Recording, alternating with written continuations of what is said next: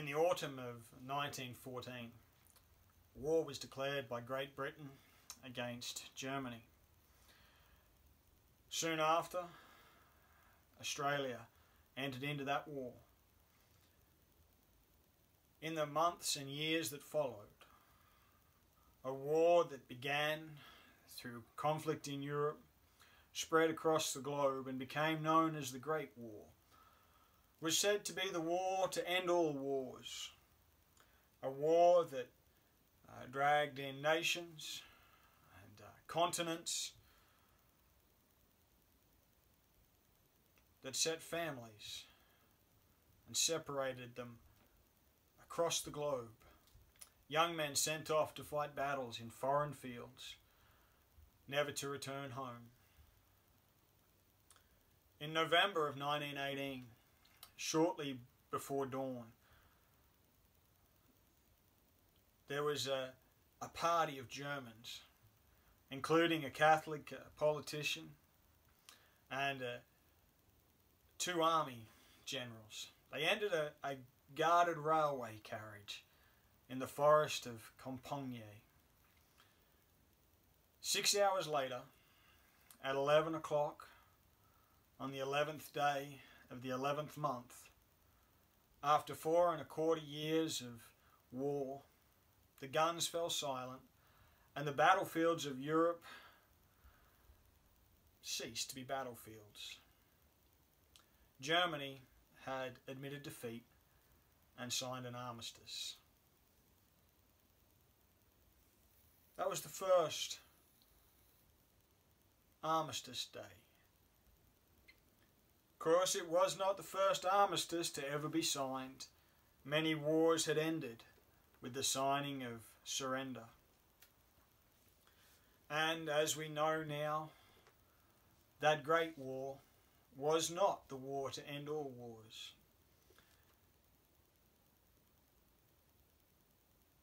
That day of surrender was simply the end of the Great War.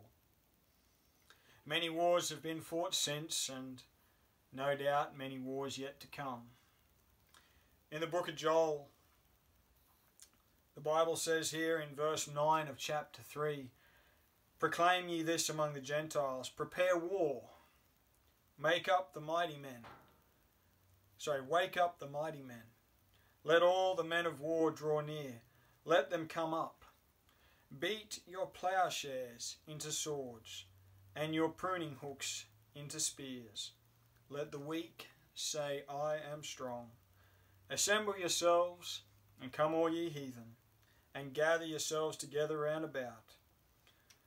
Thither cause thy mighty ones to come down, O Lord. The book of Joel gives a cry of war. It gives a declaration for man to beat their plowshares into swords to turn their pruning hooks into spears.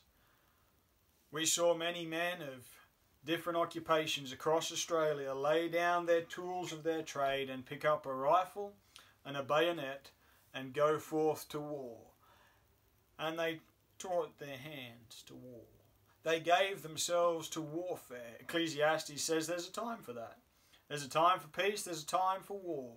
Just as there is a time to be born and there is a time to die on the 11th day of the 11th month, at the 11th hour of that day on, in 1918, there was a day of peace.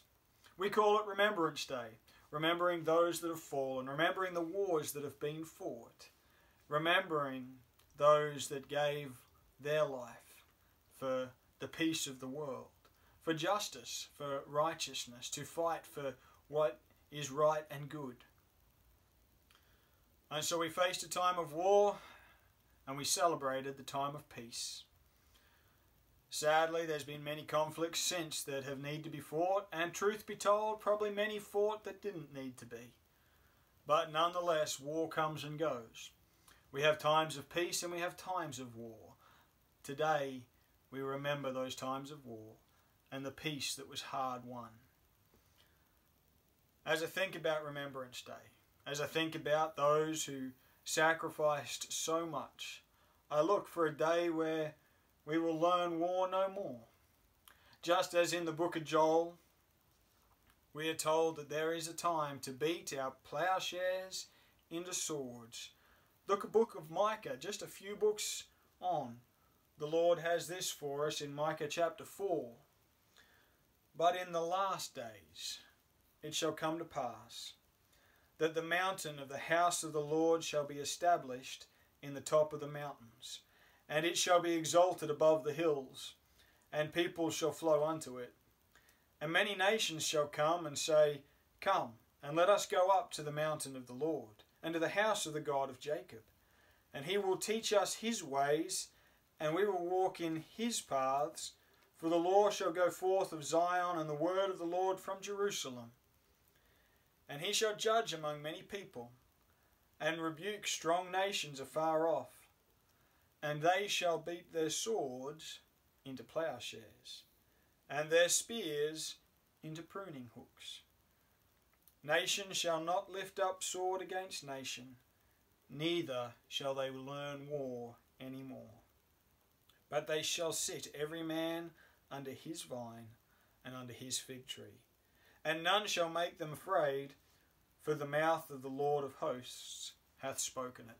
The Bible te- speaks of a day coming and teaches us that there will come a day when men will walk in the ways of the Lord. They will go up to the house of God and say, He will teach us His ways and we will walk in His paths. His paths are way of peace. His, his ways are ways of righteousness. And the day is coming where we will learn war no more. And I look forward to that day. And on this Remembrance Day, as I remember the necessity of war, as I remember the horror of war, as I look back with thankfulness and we put a day aside to remember those who were willing to pick up their sword and go forth to war. I hope for a day where we will learn war no more. I drive down the highway, and as I drive down the highway, I often pass convoys of uh, army vehicles. Perhaps they're tanks on the back of, of uh, low loaders getting dragged up the highway to training exercises. Sometimes it's armoured personnel carriers running down the road full of troops to some other training or, or work they're doing. They're learning war. These, these vehicles are filled with men and women that are learning war. We perhaps don't think about it much in our day to day lives, but yet there's an aspect of our country where we drive by, and I'm grateful. I'm grateful to see those, those uh, green camouflaged vehicles heading down the road, knowing that, hey, there are those that are willing to bring uh, peace in a time of conflict. There are those who are willing still to learn war for the security of our nation. And I thank God for those men and women that are willing to take up arms and learn the art of war. But I hope for the day where they'll not be needed. Amos, sorry, Micah here speaks of a day where every man shall sit under his vine. A day where we'll find our place under our own fig tree, so to speak, and none shall make them afraid. A day where we will be able to sit at peace and not be afraid of enemies on foreign fields or on our own shores, but we'll be able to sit at peace because the Lord of hosts hath spoken it. The Bible says that the only hope for peace is in Christ Jesus. The only hope for peace is when God reigns supreme, when His will is done on earth as it is in heaven. But until that day, until that day, we will have these times of war and times of conflict.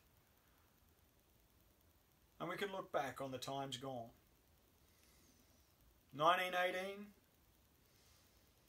there is perhaps very few, if any, that are left who, as adults, remember that war and that conflict.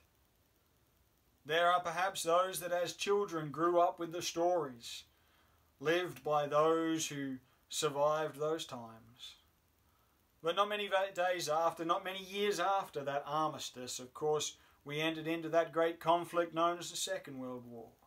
And from there, we've moved on into great times of uh, hardship, when we think of Vietnam and we think more recently of Afghanistan, we can think of the conflict in Korea.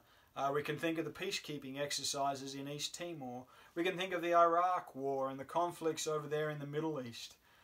The different uh, places of war where our men and women have had to go and lay down their life for their friends to secure peace in a time of conflict. Let's remember them today. Be thankful for their willingness to sacrifice themselves. And as we remember them and those times of conflict, let us look for hope with hope for a time of peace. A time where we will learn war no more.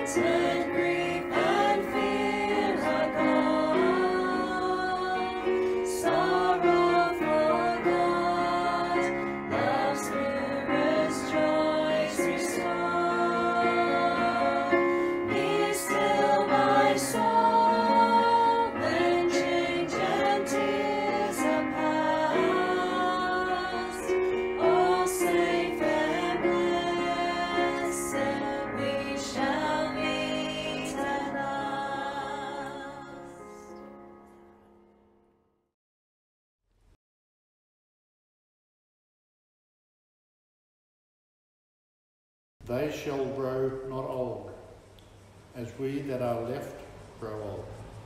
Age shall not weary them, nor the years condemn. At the going down of the sun and in the morning, we will remember them,